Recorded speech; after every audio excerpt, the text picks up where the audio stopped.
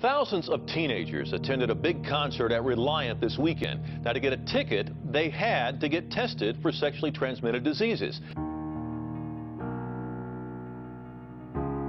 Hip Hop for HIV is about to go down once again Saturday, July 31st. Reliant Center is where it's happening. Of course, when we do these, they're daytime shows. Doors are open about 12:30. Show is underway at 2 o'clock. It'll last till about 6 o'clock. Some incredible performance. The only thing we ask of you is to know your status.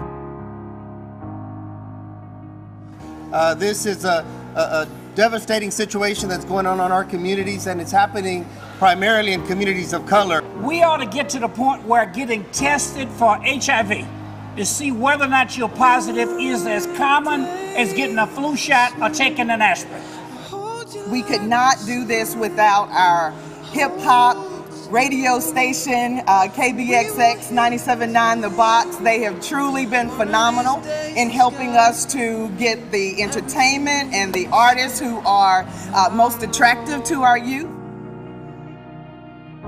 This intervention not only provides testing and same day results, but also mobile community based testing, HIV, TB, education, uh, counseling, and treatment. I mean, I don't think I should be, but it's my first time getting tested, and I think everybody just gets nervous.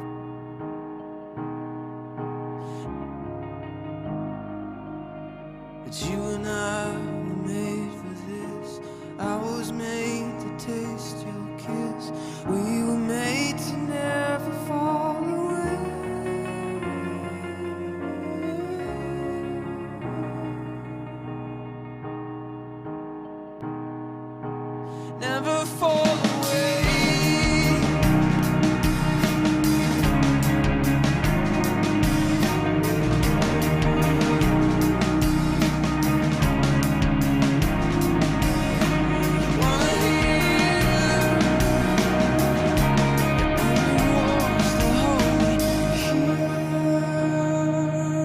Because if we understand our status, then we understand what we bring to the table.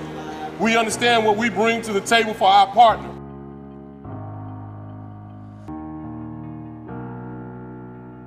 My name is Gilbert. Just want to let you know that everything discussed in this session is kept confidential, okay? Okay. Are you ready to see your test results? Mm-hmm.